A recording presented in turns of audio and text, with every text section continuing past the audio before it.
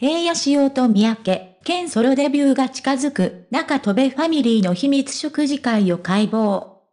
こんにちは。音楽業界の最新情報をお届けするジャーナリストとして、今回は平野仕様と戸部ファミリーの最新の出来事についてお伝えいたします。元ジャニーズ事務所副社長滝沢秀明氏が立ち上げた株式会社トベ、以下、トベは、元ジャニーズのタレントたちが集結し、その動向がファンにとって大きな関心事となっています。戸部メンバーで初めて食事をしたことが明らかになり、SNS 上で大きな話題となったその縁について、三宅健が詳細を語ったことで、平野仕様のファンらが驚きを隠せない状況となっています。戸部ファミリーの集い。ジャニーズを退社した滝沢秀明氏によって設立された戸部は、2021年3月に設立が発表され、その後、元 V6 の三宅健、元キングピンス、以下、キンプリの平野仕様と神宮寺勇太、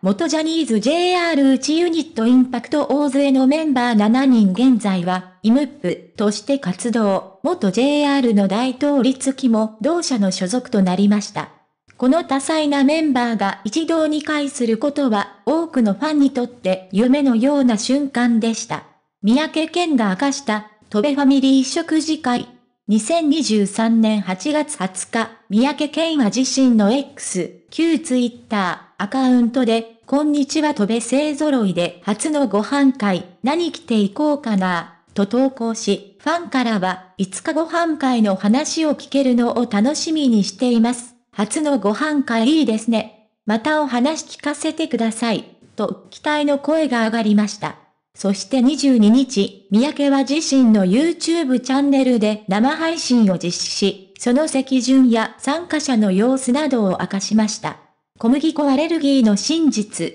驚きのエピソードとして、三宅健が明かしたのは平野仕様の小麦粉アレルギーに関するものでした。三宅によると、彼の両サイドに神宮寺と平野が座り、三人を囲むようにユヌップメンバーが並んでいたそうです。食事の際、タレントとスタッフは別々の円卓に配置され、中華料理が提供されたとのことです。イムプエの佐藤真は平野に憧れて芸能界入りし、三宅は平野くんの隣が新くんだったの。そこはなんかさ、イチャイチャしてた、と報告しました。そして、平野が小麦粉アレルギーがあるため、食べれない料理を新君に提供したことを明かしました。三宅は、新君、かなりもうほら、憧れてる平野からもらうご飯だから、食べないわけにいかないじゃん。だから頑張って食べて、結構お腹パンパンだったんじゃないかな？と裏話を披露しました。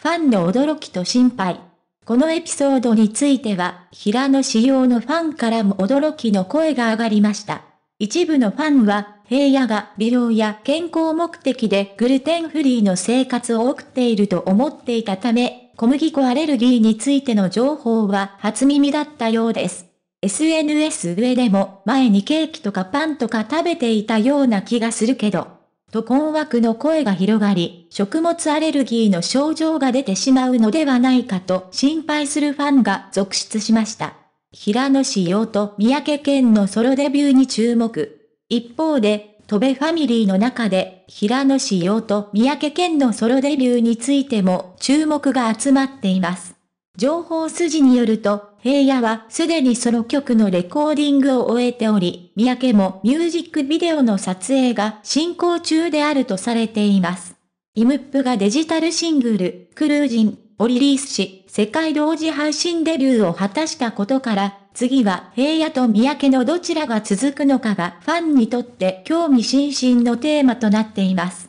また、ジャニーズ事務所から離れる北山博光や、元キンプリの岸優太が戸部に合流する予定であることも、戸部の動向にさらなる注目を集めています。平野志陽と戸部ファミリーの今後の活動について、ファンは期待と興奮を胸に抱いており、その展開に注目が集まることでしょう。結論。平野志陽と戸部ファミリーの食事会でのエピソード、特に小麦粉アレルギーに関する驚きの情報について詳しくお伝えしました。ファンの間で話題となっているこの出来事について、今後の戸部メンバーの活動にも注目が集まることでしょう。引き続き、平野志陽と三宅健のソロデビューに関する情報も追跡していきますので、音楽ファンの皆様はお楽しみにください。以上、最新のエンターテインメントニュースをお伝えしました。